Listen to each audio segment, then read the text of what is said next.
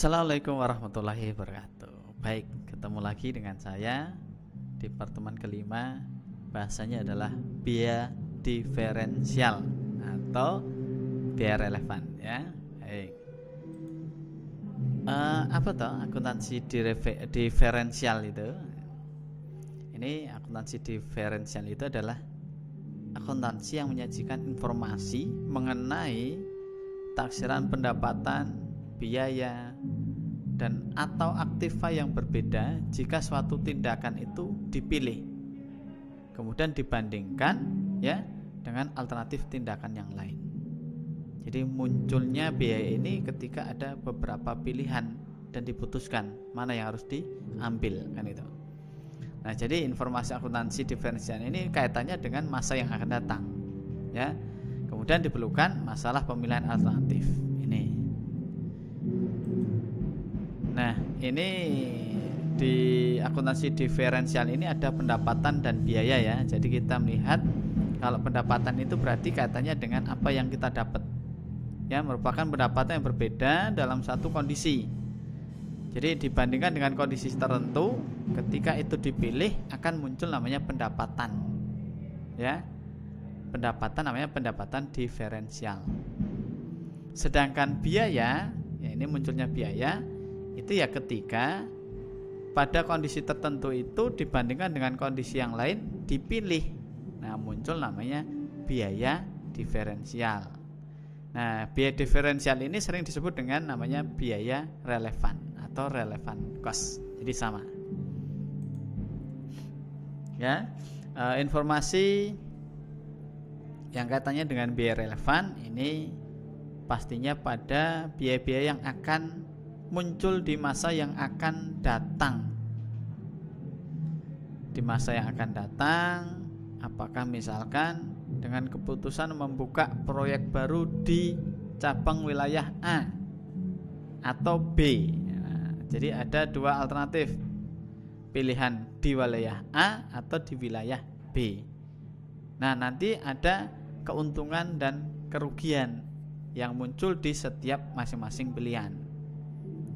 Nah, kerugian itu misalkan kaitannya dengan munculnya biaya. Kalau di A nanti ada biaya ini ini ini. ini. Kalau dia di B munculnya hanya biaya ini misalkan. Nah, ini namanya biaya relevan, gitu ya. Jadi biaya relevan ini cirinya adalah ini biaya akan yang akan datang kemudian berbeda dengan uh, berbeda di antara alternatif tindakan. Jadi ada beberapa pilihan, uh, pilihan yang mempunyai konsekuensi biaya yang berbeda juga di antara beberapa alternatif, gitu ya. Nah, contoh kita ilustrasikan di Contoh perusahaan ini akan mengambil keputusan tentang bahan baku yang akan dipilih. Dijadikan bahan sebagai bahan produksi. Ya, ada bahan baku X, ada bahan baku Z, kemudian ada bahan baku Z. Nah, harganya masing-masing sama, kebetulan sama harga belinya. Per kilonya 3000 bahan X 3000 bahan Y juga 3000 bahan baku Z juga 3000 nah namun untuk mengubahnya jadi butuh tenaga kerja untuk mengubah bahan baku menjadi barang jadi. Beda karena beda bahan beda upah yang dibutuhkan. Kalau bahan baku X itu 9000 ini ya butuh upah 9000 per kilonya sedangkan bahan baku Z ini butuh 8000 dan bahan baku Z ini butuh biaya upah langsung 8500 Oke.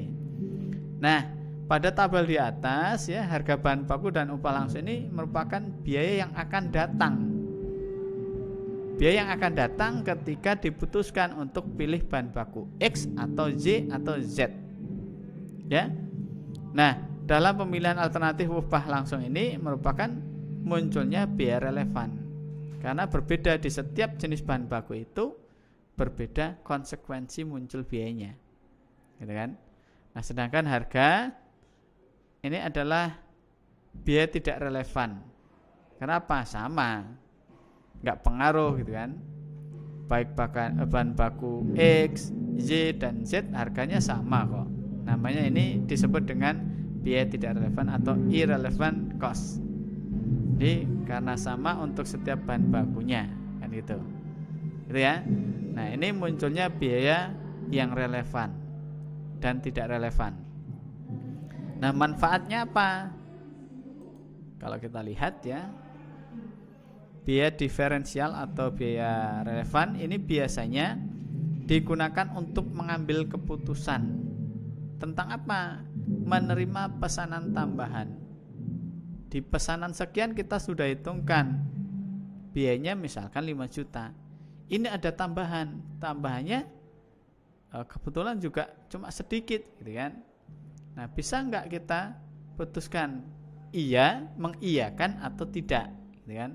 Karena nanti kaitannya dengan biaya yang muncul gitu kan. Atau kebetulan misalkan kita dikonveksi ya beli bahan beli bahan itu lebih murah dalam bentuk roll.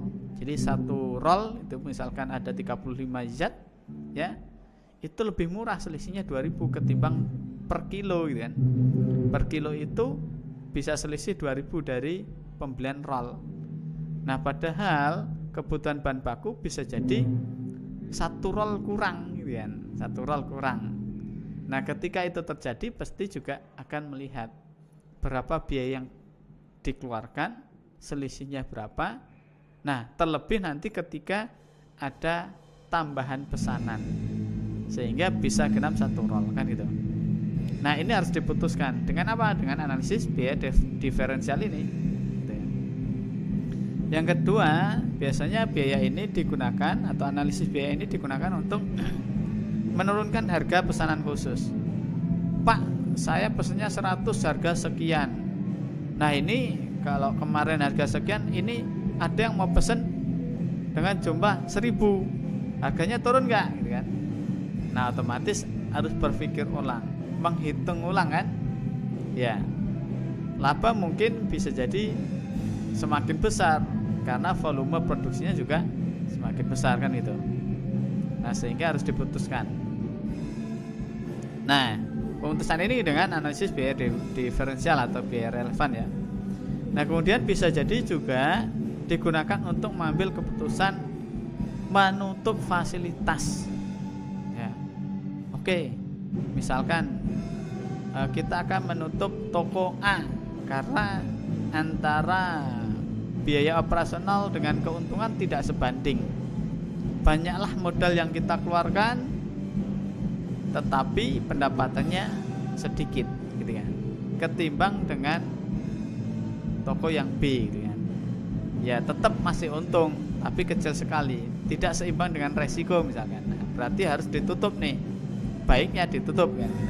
Nah ini bisa dengan e, melakukan analisis biaya relevan nah kemudian keputusan untuk memproduksi sendiri atau membeli. Nah kalau memproduksi sendiri butuh biaya berapa? Kemudian bahan apa saja yang dibutuhkan gitu kan? Aktivitasnya banyak atau enggak gitu kan?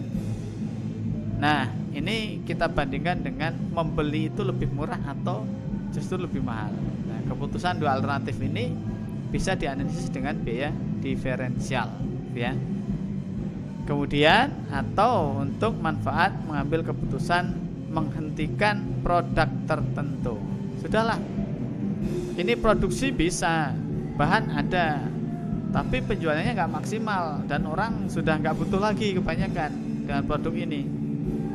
Dimaksimalkan pun di di pihak mitrasi misalkan marketnya, marketing salesnya itu juga nggak maksimal. Kenapa? Orang nggak butuh lagi misal, sehingga harus diberhentikan. Boleh diputuskan dengan analisis biaya diferensial. Nah, kemudian atau untuk mengambil keputusan memproses lebih lanjut atau tidak. Ya. Dari kapas kita ubah menjadi benang. Nah, benang ini apakah kita cukup jual hanya sebatas produksi sampai dengan benang ya, kapas ini sampai benang atau sampai kain. Jadi ada proses lebih lanjut lagi. Dari kapas jadi benang jadi kain. Mana yang lebih menguntungkan? kan gitu. Ya nanti pasti ada perhitungan biaya di sana. Aktivitas mengubah dari kapas menjadi benang berapa biaya yang dibutuhkan ketika dijual dengan benang berapa hasil yang didapatkan. Kemudian dibandingkan dengan biaya yang dikeluarkan untuk memproses benang menjadi kain. Berapa jumlahnya pendapatan yang didapat berapa kan itu nah apa namanya untung nggak ketika dijual di benang atau dijual dengan kain dengan barang kain? Jadi ini diputuskan dengan analisis ya diferensial gitu ya. Jadi memang ada beberapa keputusan yang memang bisa dianalisis dengan biaya diferensial ini. Oke seperti itu. Baik untuk selanjutnya kita akan lihat ilustrasi kasusnya kita bahas di ruang kelas terima kasih Sampai ketemu lagi. Saya akhiri. Assalamualaikum warahmatullahi wabarakatuh.